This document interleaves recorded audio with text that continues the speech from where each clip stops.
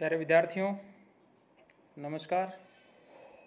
आप सभी का इस ई क्लास में हार्दिक अभिनंदन है, स्वागत है।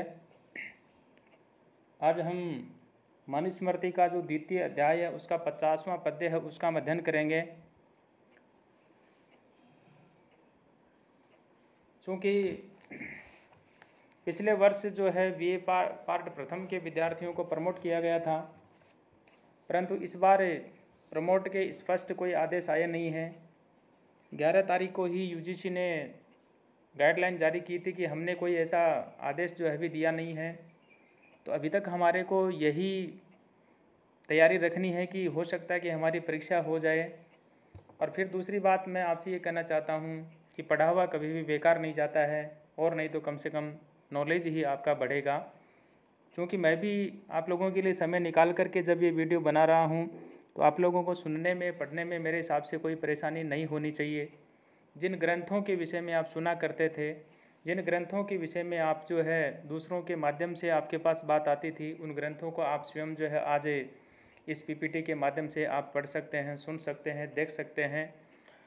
तो मनुस्मृति का जो द्वितीय जो अध्याय है, इसके अंदर हमारा जो प्रसंग चल रहा था कि जो ब्रह्मचारी हैं, तीनों वर्णों के जो ब्रह्मचारी हैं वो भिक्षा मांगने के लिए जब जा, जाते हैं तो उस समय कौन से वर्ण का ब्रह्मचारी है, किस प्रकार से भिक्षा मांगते समय वह संबोधन करे, इस बात के विषय में हमने पहले जो इससे वीडियो आया था, या ये मैं आपसे यूँ कहूँ कि उनचास नंबर का जो पद्य था, उसके अंदर ये बात कही गई थी कि भिक्षा मांगते समय ब्राह्मण वर्ण का यदि ब्रह्मचारी है, वह यदि भिक्षा मांगे तो भगवती जो शब्द है, उसका पूर्व प्रयोग करें।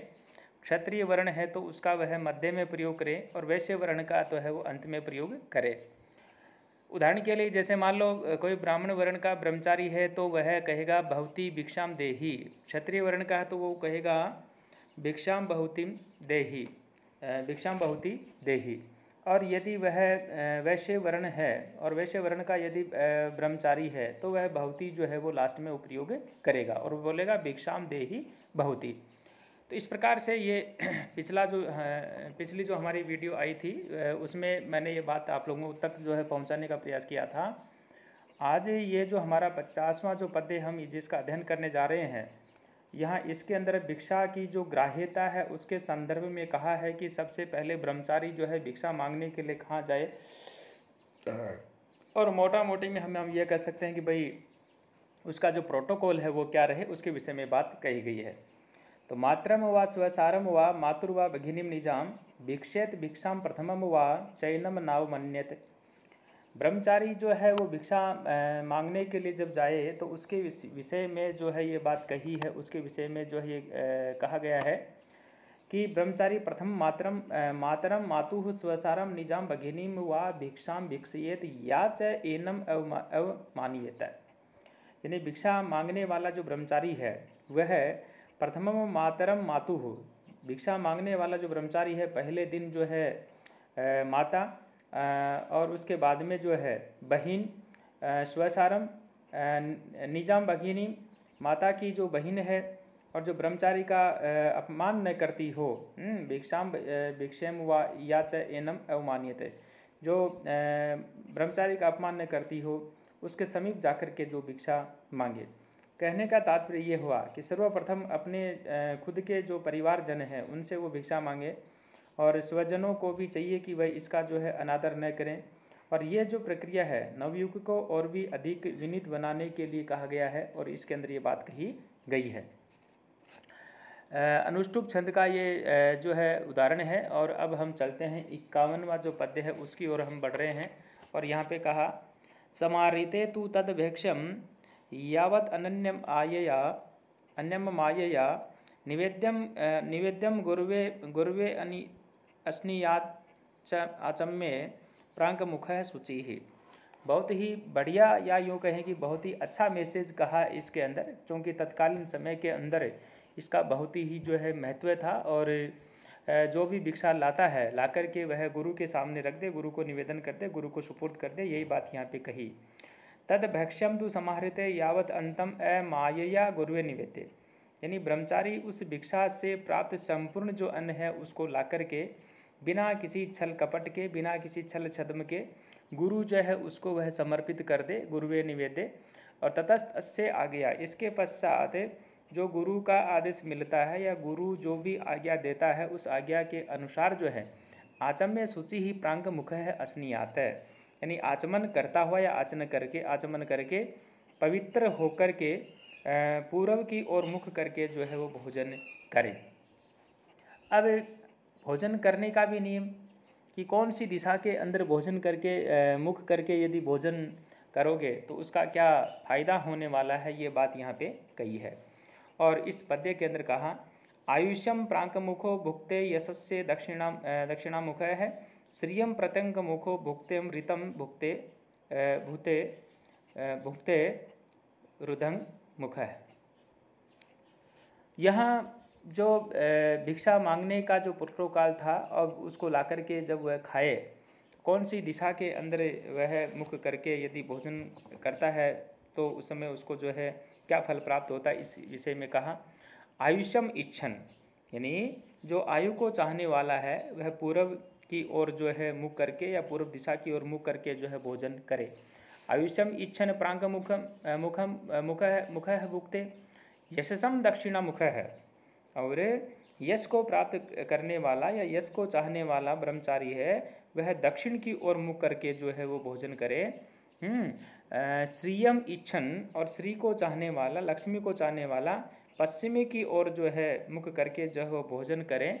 और प्रतंग मुख रितम च इच्छन उदंग मुख है भूंगते। और सत्य का जो फल चाहने वाला है, वह उत्तर दिशा की ओर जो है, मुख करके जो है भोजन करें। इस प्रकार से जो भोजन है, उस भोजन का क्या प्रोटोकॉल है उसके विषय में जो है ये बात कही है कि कौन सी दिशा के अंदर मुख करके जो है वो भोजन करे। ये भी अनुष्टुप जो छंद है, इसी का ही ये उदाहरण है। इसमें अव्यय दिए हुए हैं तो उन अव्यों को आप छांट सकते हैं और परीक्षा के लिए जो है आप इसमें जो है तैयार कर सकते हैं। अब बात जो है अगला जो पद्य है, इसके अंदर जब हम कर रहे हैं तो इस पद्य के अंदर जो बात आई है, यहाँ भोजन के आदि तथा अंत के अंदर जो है आचमन के विषय में कहा गया और कहा उपस्पृश्य द्विजो नित्यम अनम अद्यात समाहित है, भुक्तवा च उस्परिशयत सम्यम गद्भी ही खानी च समस्पृश्यत यहाँ जो भोजन है, उस भोजन को किस प्रकार से वह करें?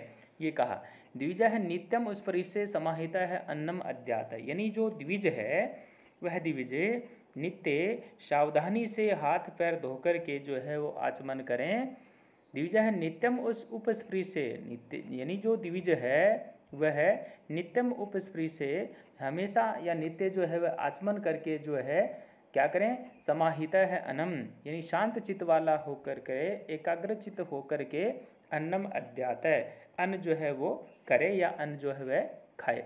भुक्तवा च सम्यक अदबी ही उपस्पृशेत खानी च समस्पृशेत है। और वह इस प्रकार से भोजन के अंत में भी हाथ पैर धोकर के आचमन करें और जल के जल जो है वो जल के हाथ से जो है आँख कान नाक जो है उसका वह स्पर्श करे। हम्म, उप स्पृशेत खानी च समस्पृशेत है। सम्यक भली प्रकार से अदबी खाने के पश्चात उपस्पृशेत, खानी च समस्पृशेत। है खाने का मतलब यहाँ आँख से है, कान से है, आदि जो हमारी इंद्रियाँ हैं, उनसे है। तो इस प्रकार से यहाँ पर ये जो बात कही है खे का यहाँ जो बात कही है कि इस प्रकार से आकाश से है या जो यूँ हमारी जो इंद्रिय हैं हैं, आँख है, नाक है, कान है, इनको जो है स्पर्श करने के विषय में बात कही है। तो भोजन के अंत में भी जो है वो आचमन करे, इसके विषय में जो है ये बात कही है। और अब चौवनवा जो पद्य कहा, यहाँ पे कहा पूज्यये दशनम नित्यम अद्यात च एतत् कुतशयन, दृष्टवा ऋषयत प्रसीदेत च प्रति प्रतिन प्रत्यनदेत च सर्वशः। यहाँ जो भोजन है, उसकी जो हमारा जो प्रसंग चल रहा था, उसी के विषय में बात कही है कि जो भी अन्न जैसा भी होता है, उस अन्न को जो है श्रद्धापूर्वक भोजन करें और अन्न का कभी भी जो है अनादर न करें। हमेशा उसका आदर करके ही जो है उसका भक्षण करें। इसलिए कहा, असनम नित्यम पूजियत। असनम नित्यम पूजियत। यानी अन्न जो है, उस अन्न की हमेशा पूजा करे, नित्य पूजा करे। एतत् च अकुत्स्यान अद्यात। और हमेशा बिना बुराई किए हुए उसे जो है खाएँ, अध्यात्मा ने खाएँ। एतत दृष्टवा ऋषेत प्रसिदेत च। इस प्रकार से उसे देख करके जो है, हर्षित होवे, प्रसन्न होवे, और क्या करे है च प्रतिनंदित। और जो अन्न होता है, हमेशा जो है उसकी प्रशंसा करे। तो अन्न के विषय में, अन्न का क्या प्रोटोकॉल है, किस प्रकार से हमारे को जो है उस अन्न का भक्षण करना चाहिए, इसके विषय में बात कही, अनुष्टुप छंद का उदाहरण। समय बहुत कम रहता है, इसलिए समय के हिसाब से सारी चीज़ें देखते हुए जो है थोड़ा सा इसको आपको बताना पड़ रहा है। पूजितम अंतिम पद आज की वीडियो का। पूजितम हयसनम नित्यम बलम ऊर्जम च यच्छति। अपूजितम तद्भुक्तम उभयम नासियत इदम। यहाँ जो भोजन है उसके विषय में ही ये बात कही है और कहा कि अश्रद्धा से कभी भी भोजन नहीं करना चाहिए। इसमें भावना का जो है बहुत ही बड़ा रोल यानी महत्व होता है इसलिए कहा। ही पूजितम अशनम नित्यम बलम। यानी हमेशा इस प्रकार से मान सम्मान के साथ में प्रतिदिन जो भोजन किया हुआ होता है या यूँ कहे कि मान सम्मान के साथ में प्रतिदिन भोजन कर जो व्यक्ति करता है वह अन्न जो होता है बलम ऊर्जम चयच्छति यानी वह जो अन्न होता है वह अन्न प्राणों को बल देता है शरीर को बल देता है हम्म, तत् अपूजितम भुक्तम तु इदम उभियम नासियत। है और जो अनादर के साथ में निंदा करके जो भोजन करते हैं वो तो दोनों को ही, अर्थात करने से दोनों, यानी जो बल हैं, उनको वह नष्ट कर देता है। इसलिए जब भी भोजन करें, हमेशा हाथ जोड़ करके उनका स्वागत करें, वेलकम करें। ब्रह्मचारियों के संदर्भ में ये बात कही, और यदि हम इनसे प्रेरित यदि होना चाहते हैं तो हम भी जो है, अन्न का हमेशा मान सम्मान करें और उसके बाद में भोजन करें तो सभी के लिए लाभदायक होता है। तो मैं समझता हूँ कि आप लोग जो है, इसको आप देखेंगे सुनेंगे, और लास्ट में एक प्रार्थना मैं आपसे करना कहना चाहूँगा कि अपना जो चैनल है, इसको आप सब्सक्राइब अवश्य करें। धन्यवाद।